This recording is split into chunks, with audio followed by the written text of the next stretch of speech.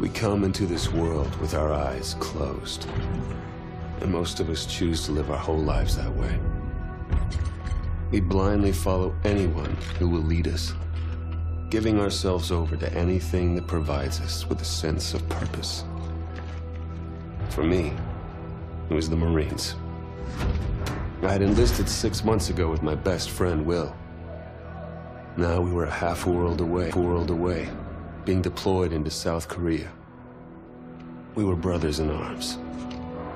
No matter how bad it got, I could always count on him to keep me in line. Cheer up, Mitchell. It can't be all that bad. It's just finally starting to sink in. Now, this is what we signed up for. Uh, well, the old man was a leatherneck, so I didn't really have much of a choice. Yeah? I joined up because of the old man, too. More just to get away from him. Just to get away from him.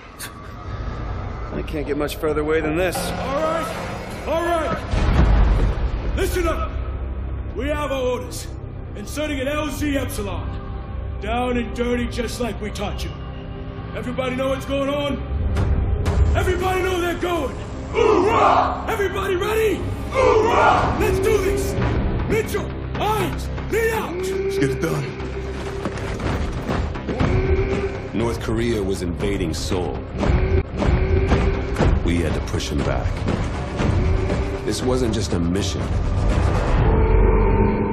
It was an initiation.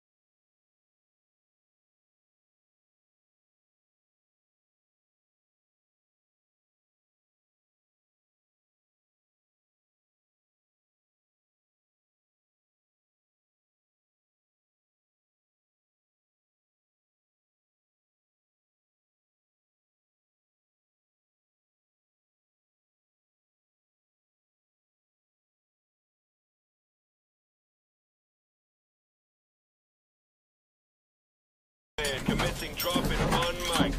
Badger zero one, standing by. All on, set to engage. Copy dropping at grid 3159er. Repeat, repeat, 3159er. Cross-checked and verified. Everybody hold tight.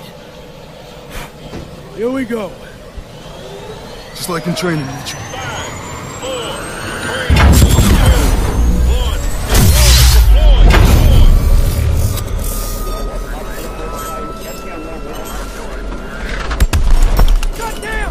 30 seconds to insertion point.